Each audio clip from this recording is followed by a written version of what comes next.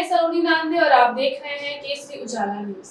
पच्चीस जुलाई को पुलिस को एक गुप्त जानकारी मिली थी कि मोमिनपुरा में गोवंश जानवरों को वध के लिए लाया गया है। सूचना मिलते ही पुलिस उस स्थान पर पहुँची और उन्होंने 11 गोवंश जानवरों को छुड़ाया।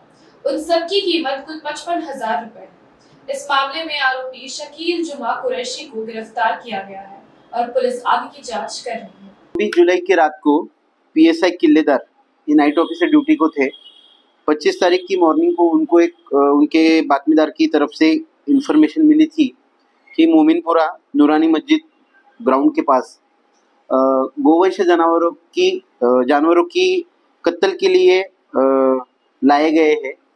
उस इंफॉर्मेशन के बेसिस पे पीएसआई किल्लेदार और डीबी पथक ने नूरानी ग्राउंड के यहाँ पे ट्रैप किया।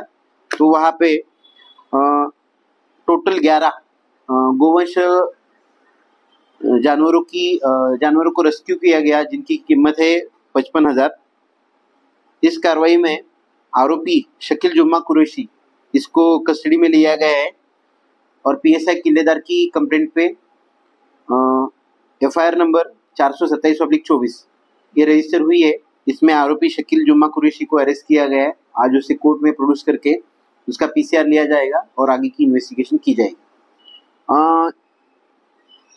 गुने की इन्वेस्टिगेशन शुरू है। इसमें आरोपी निष्पन्न होने की पॉसिबिलिटीज है।